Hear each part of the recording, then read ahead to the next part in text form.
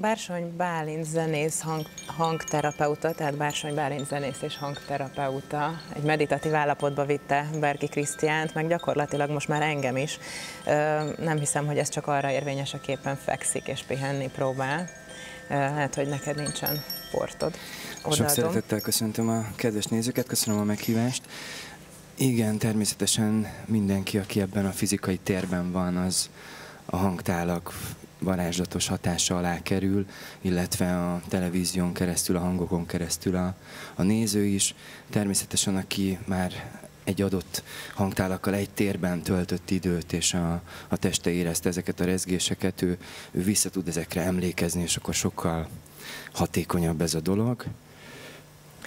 Gyakorlatilag itt nem csak a hangzás, a rezgés is érezhető. Tehát nyilván mondjuk a nézők ezt nem tudják átélni, amit mi átélünk, de, de egy teljesen különleges atmoszféra vesz minket itt most körül.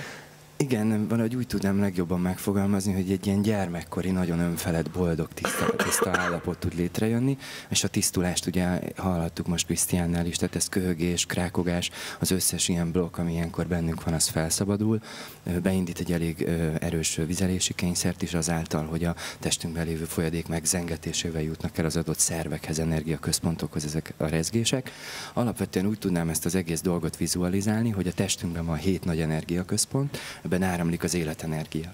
Amikor megszületünk, kisgyermekek vagyunk, hogyha csak belenéztek egy kisgyermek szemébe, az a tisztaság, az a boldogság, az a csillogás, ez neki egy ilyen nagyon tiszta áramlás. És ahogy egyre több minden rakódik le nekünk lelki, szellemi, szellemi síkon, ott blokkok keletkezhetnek. Szegény és hogyha... meg is fullad közben. Nem, ez... nem, nekem ez most, nekem most ez nagyon-nagyon jó.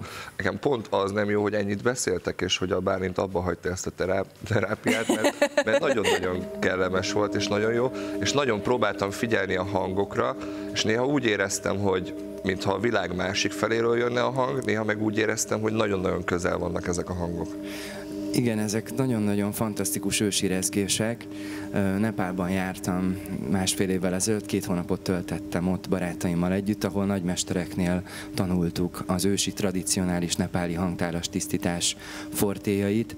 Ott rengeteg olyan falu van, ahol nincs gyógyszertár, nem fogyasztanak gyógyszereket, hanem van egy bácsi, akinek vannak hangtálai, elmennek hozzá a, a betegek, vagy akik kezelésre szorulnak, odaadják az adott hangtálat neki, és akkor a család dolgozik rajta. Minden betegségre van egy hangtál? Alapvetően vannak olyan európai dogmák, melyek azt mondják, hogy, eh, hogy a különböző csakrákra különböző eh, hangtálakat vásárolj. Mi, amikor ilyen kérdéseket feltettünk Nepálban, akkor ők azt mondták, egy kicsit megmosolyogva bennünket, hogy egy igazán jól elkészített, kovácsolt tálban az összes olyan rezgés benne van, amire az emberi szervezetnek szüksége van, vagy akár az állatoknak is, hiszen az én hangtálazásom az úgy indult, hogy én lovakat kezdtem el először gyógyítani ezzel, és nagy sikerre jártunk tartunk, és utána kezdtem el a hangtálakat vásárolni, és mai napon pedig csoportos hangfürdőket tartunk.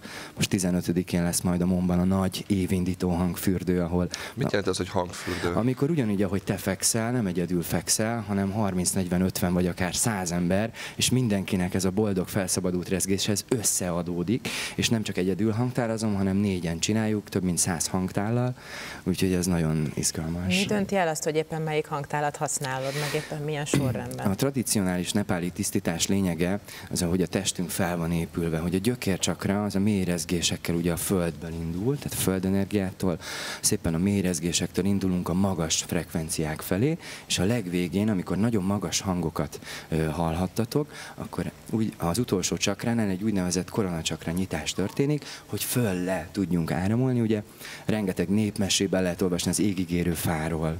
Ugye ez tulajdonképpen az emberről szól, aki a földet az éggel összeköti, és akkor tudja, hogy ez az áramlás tiszta. Uh-huh. Miért nem tudunk erre kellően nagy hangsúlyt fektetni hát Azért vagyok itt, hogy, hogy egy, hát figyelj, itt vagyok, és itt fekszel. Tehát ez öt évvel, tíz évvel ezelőtt el tudtad volna képzelni, nem, hogy ebbe a szituba De még három évvel ezelőtt Ugye? Sem. Szóval Krisztián nemrég volt nálunk kint a meditációs központban, ahol, ahol dolgoztattuk, tehát ő különböző tanyatornás feladatokban vett részt, de már ott érezte, hogy belépett a jurtába, hogy hú, ez valami nagyon különleges dolog. Úgyhogy egyre több magyar ember kezd tudatosodni, nyílni, és kezdi megtalálni a saját boldogságát. Ez elég az egyébként, hogy az ember legyen nyitott az új dolgokra, vagy úgymond új régi dolgokra, mert azért ez egy, ez egy ősi dolog. Ez egy ősi dolog, ebben az a szerencsés, hogy akár hiszel benne, akár nem, ez hat rád. És onnantól kezdve, hogyha hatása alá kerülsz, hogyha érzed, hogy hú, tényleg valami most történt a testemben, hú, de megnyugodtam, akkor onnantól el is hiszed, és átadod magad neki. Te mondjuk érzed azt egy csoportos terápiánál, hogy ö, éppen, a, éppen a nagyon nyitott feleség lerángatta a nagyon makacs férjét, és lefekszik ő is ugyanabba a pózba, de a férj az próbál, próbál mindent megtenni annak érdekében, hogy ezek a rezgések ne érjék, de aztán mégis, mégis felágyul. Igen, tehát az ego az nagy harcos, úgyhogy a, az egót a szükséges ilyen helyzetekben elengedni, átadni, és akkor... Kint hagyni a, a kilincsen. Igen, igen, a komfortzónát az, az mindenképp így kinyitja. Nagyon sokan beszélnek most a komfortzónáról, és pont ugye megújulási éve, és itt, itt, itt nagyon sokan mondják 2017-ben, hogy az emberek legyenek bátrak, és, és, és tekintsenek túl egy picit a komfortzónájukon. Ez, ez akkor ebben az esetben is nagyon fontos? Hát nézd, én, mi abból táplálkozunk, hogy visszatértünk a természethez. Tehát amikor én nem koncertezem, nem a színházba vagyok, vagy nem turnézunk, akkor, akkor a Jurta központban tesszük a dolgunkat. Ahogy látod, hogy a természet hogyan alakul, mennyire tiszta, milyen energiákat ad, ezáltal irányítjuk a a, tulajdonképpen az álmainkat, az életünket. Ugye milyen természeti népek vagyunk, eltávolodtunk manapság a természettől, ezáltal a természetes viselkedéstől is. És egy kicsit mindenki újra kimegy az erdőbe, elmegy sétálni, akár kapcsolódik állatokkal, a ló például fantasztikus ilyen terápiára. Tehát ezt a napi szinten műveled otthon is? Így van, így van. A Jurta központban csoportos hangfürdőket tartunk, illetve Magyarország több pontján is vannak már hangfürdőink. Uh-huh. A, Én... Mennyiben változott a te életed? Tehát most én próbálok elképzelni, mert ugye mi találkoztunk kint a központban, ahol tényleg nagyon jó volt megélni azt a szituációt, gyönyörű jurtákat építettetek, megfogja az embert, ha nyitott, ha nem nyitott, lehet kint mindent csinálni, mindent végezni, de azért te mégis egyfajta művész vagy, hogy utána nem tudom, elmész lóháton az első útkereszteződésig, ott beülsz egy autóba, és onnantól művész vagy este 6-tól éjfélig? Én már a művész szónál megállnék, mert ugye se a mű, se a vész nem biztos, hogy jót jelent. Aha. Zenésznek tartom magam, zenész. Nem akartam. Nem, Ez így jó, tehát a zen és az ész, az tök jó. Természetesen a nagy álmunk az, hogy egyszer majd egy olyan turnét csinálhassunk a Kárpát-medencében, amikor lóháton járjuk be a falvakat, és mindenhol zenélünk, de természetesen én is beülök az autóba, bemegyek a színházba, és utána másnap, amikor időm engedi, megyek vissza a lovakhoz. De igazad van a művészek kapcsolatban, én ezért nem vagyok műsorvezető, mert mű, és a többit azt ne is tegyük hozzá. Már köszönjük szépen. Az vagy, Január 15-én én ott leszek. Kulturális Központ este 6 óra. Megyek. Köszönjük, köszönjük. szépen, hogy itt voltál. Isten áldjon benneteket, köszönöm.